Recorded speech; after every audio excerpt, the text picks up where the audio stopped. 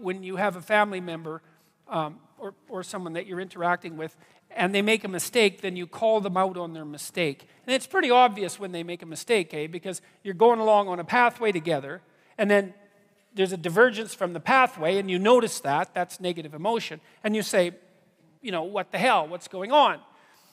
What you don't notice is all the time you're spending walking forward when it's going real well. And the reason for that is what's going real well, so you mostly ignore it. But that's not so good. You, you got to wise up.